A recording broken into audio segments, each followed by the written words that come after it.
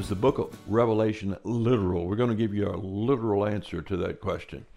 This is a painting I did uh, of the book of Revelation some years ago, and it's on poster board like that. And we're going to be using that as a reference point as we go through our subject. Now, we're going to be talking about right here the Antichrist, the beast, and the seven headed beast with ten horns, and the second beast that comes up out of the sea. When the book of Revelation calls the Antichrist a beast, why does it call him a beast? Is it a literal beast? When he says the beast has ten horns, is there somewhere in the universe a beast with ten horns? No, not necessarily.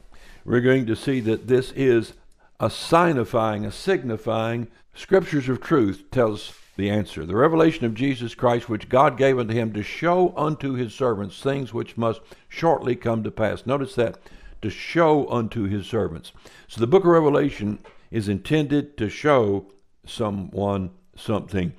It's not intended to disguise it and cause you to be confused. It wants you to understand it.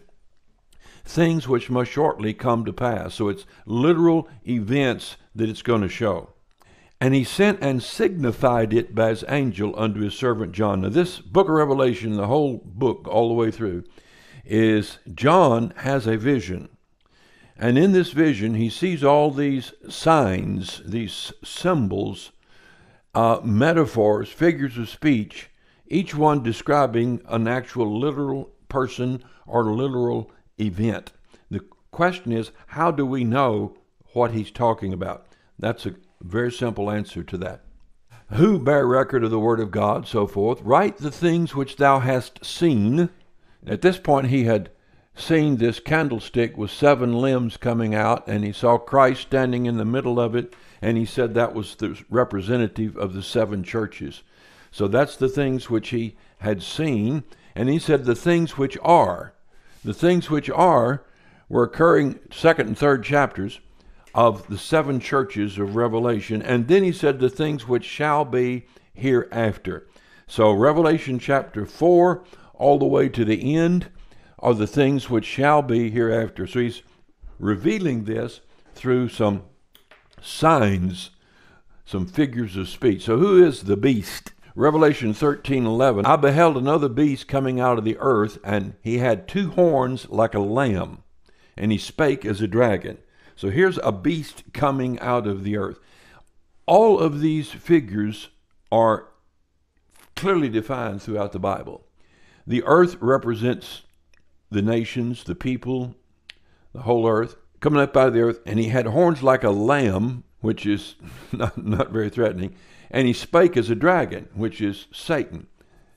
And he exercised all the power of the first beast, that was Antichrist, before him, and causeth all the earth and them which dwell therein to worship the first beast whose deadly wound was healed. Now, we'll go into that another time. That's the Antichrist. We're not concerned about that right now. What we're concerned about is the fact that he calls this beast coming up out of the sea. Right here on the painting is illustrated, looked like some kind of a dinosaur looking creature. He doesn't describe it, so I just use my imagination on that one. And he doeth great wonders. That's this beast right here. So he maketh fire come down from heaven on the earth in the sight of men, and deceiveth them that dwell on the earth by means of those miracles which he hath power to do in the sight of the beast, saying to them that dwell on the earth that they should make an image to the beast. Now that's this beast right here, in illustrated in this statue, like Nebuchadnezzar's image which hath a wound by sword and did live. That's another subject. You can get, you can actually get my YouTube, go back and look at that on the Antichrist. Who's the Antichrist? And he had power to give life unto the image of the beast, that the image of the beast should both speak and cause that as many as would not worship the image of the beast should be killed. So there's prophesied that this personality called a beast is going to make an image or are going to have an image made for him by a religious leader, can't take time to prove that, who is a beast coming up out of the earth.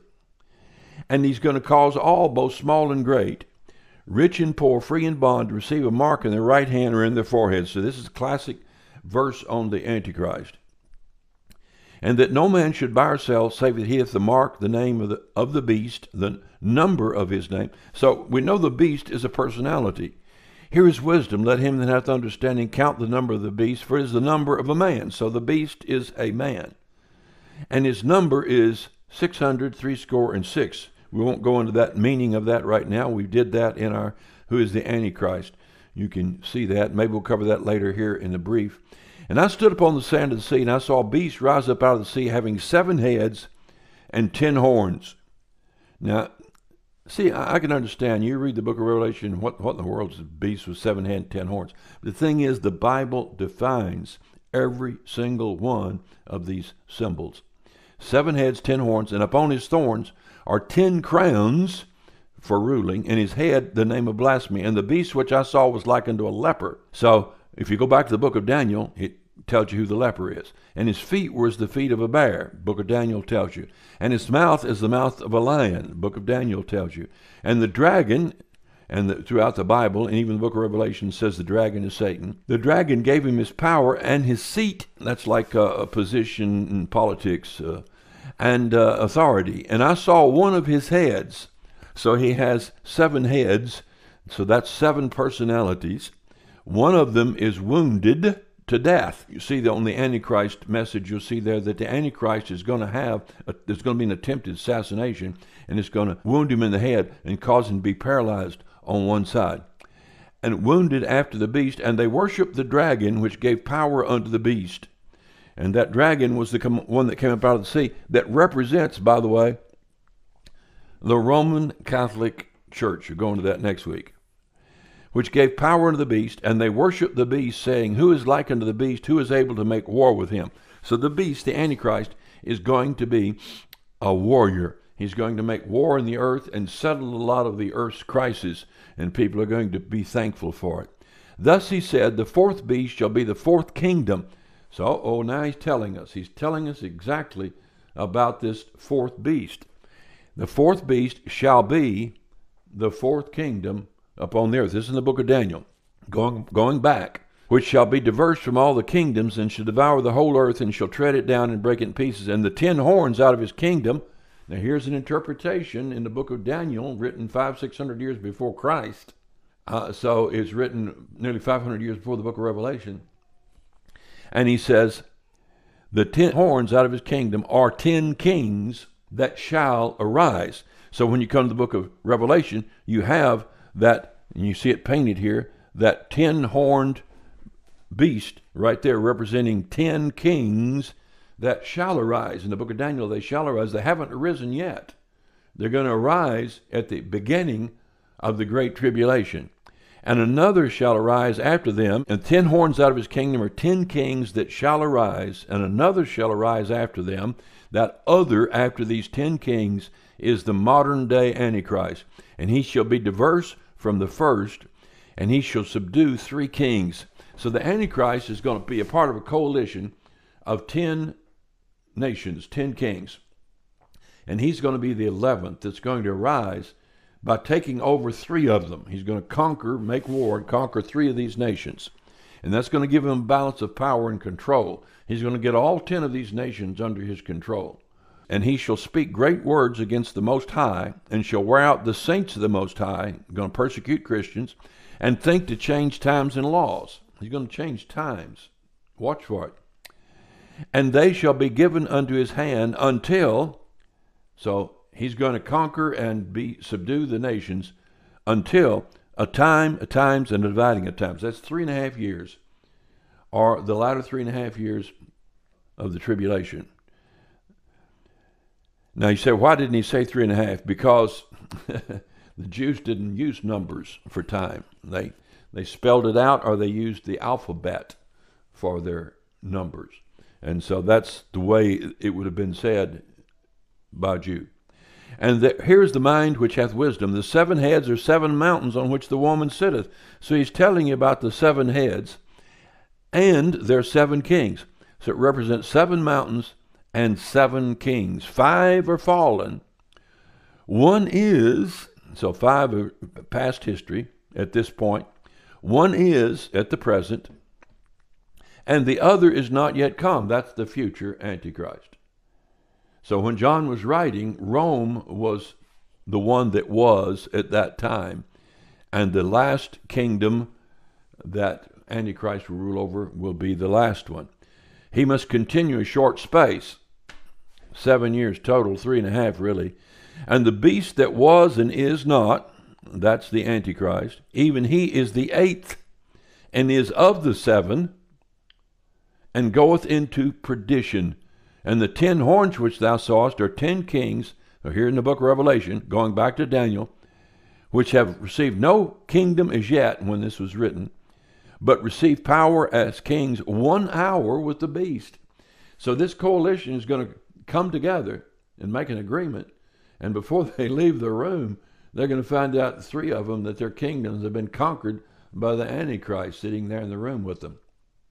And then he's going to gain power over the others, and he's going to use that to assault the whole earth, in effect. But he will he will fail because the King of Kings is coming back.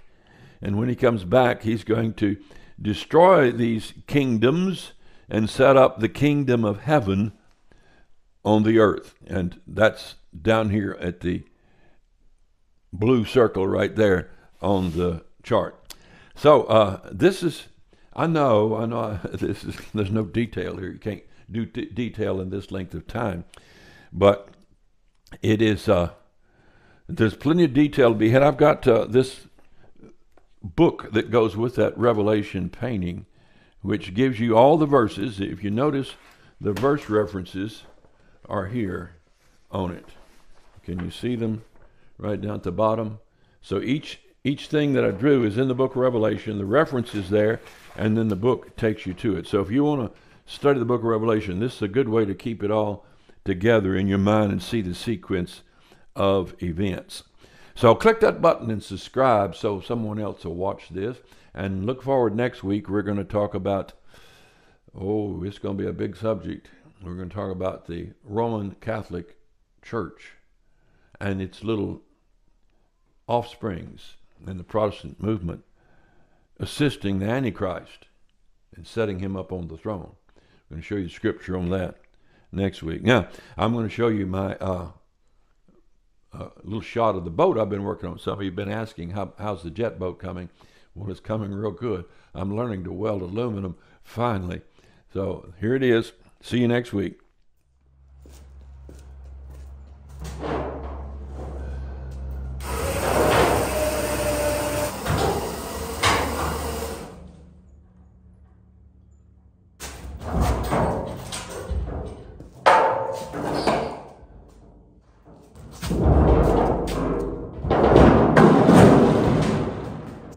it really facilitates everything to be able to hang it like that where I can work on, like I'm gonna work on the side here, I'll show you.